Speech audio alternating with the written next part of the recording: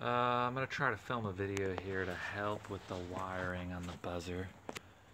For what it's worth, maybe it'll be more confusing to you. So I guess not all buzzers have two little stops switches, if you will.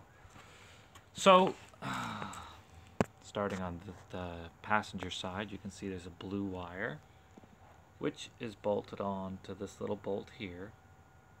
And obviously it's isolated from the handlebars with that little thing.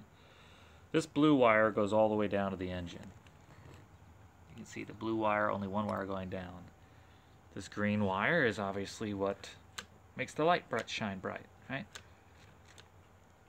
That green wire comes over here to the passenger side. Now, before I had it hooked to one of these, right? This is the same as this thing over here, basically. Same idea, right? Goes up into there, oops, around this way, and then it contacts on there. So basically me having it bolted to this little bar is the same as it contacting with this thing, right? Except obviously when I pull this lever, nothing happens. The brake light doesn't come on, right? Because it's grounded, you could say to there. It's connected. It's completed the circuit or whatever. So this one still obviously works. So when I was not focusing for it, now my brake light would come on. So you could just install one of these, right? Like I should do and then I'd bolt this green wire to this, right? And then obviously the brake lights would work when you pull that one.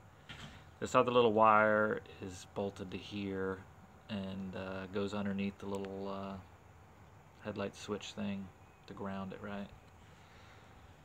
That little blue wire comes down. My one's blue. Who knows what color your one is? If other people have been in here, right? You can see. I'm trying to get to focus. There's that little one blue wire coming all the way down.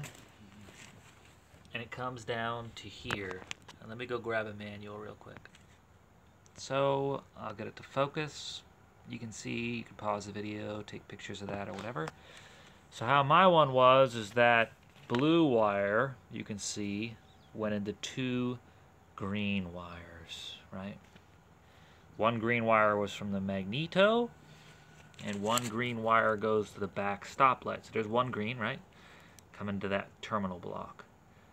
Then there's the green wire coming from the magneto, which is on the engine that's not in the bike right now. So two wires hooked into the one wire, which it's calling it green here. Mine should be green, but it's blue like you saw in the video earlier. Green wire, green where does it go? Rear stop switch. Well, in this particular case, that green one we're talking about is right there, right? To the rear stop lamp. You can see one green, one yellow. And you can see over here, look, one green, one yellow. And that other yellow wire, where does it go, right? It goes up to this switch.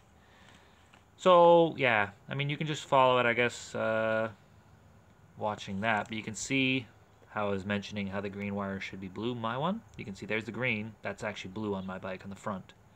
Where does it go? It goes to your front stoplight switch, right? So that's hopefully that's enough for you to help. When I get my motor back in, maybe I'll film another video and help, uh, maybe help more, right? But that's how it is, right? Yeah, mine is yellow to yellow, black to black, red to red. You can see black to black off the magneto, right? Red off the magneto to red, which then goes over to the coil, right? Red goes through the coil, Black just goes to ground. Look, there's a black coming off the coil. Black goes to ground. There's a red. That's a red right there.